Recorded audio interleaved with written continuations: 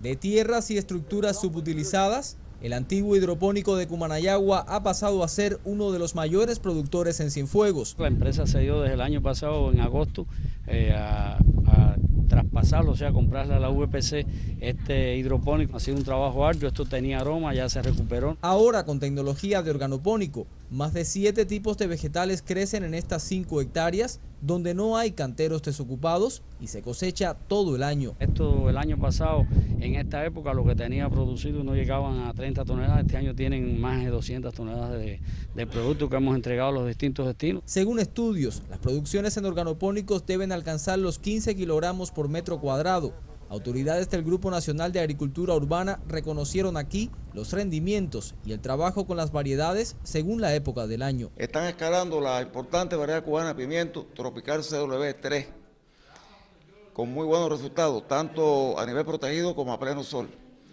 También un, considerable resultado en la bichuela china Cuba 98 que es la única que se comporta bien en invierno. La recuperación del antiguo hidropónico cumanayagüense se inserta en un esfuerzo nacional por reactivar grandes unidades que permanecían prácticamente improductivas. En el país tenemos 18 grandes unidades que antes eran antiguos hidropónicos o ceopónicos.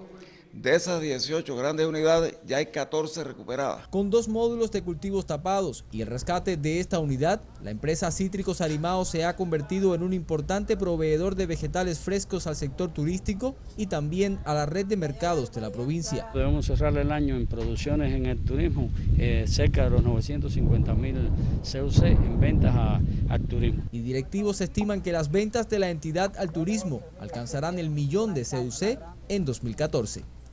Ángel Bermúdez, Notisur.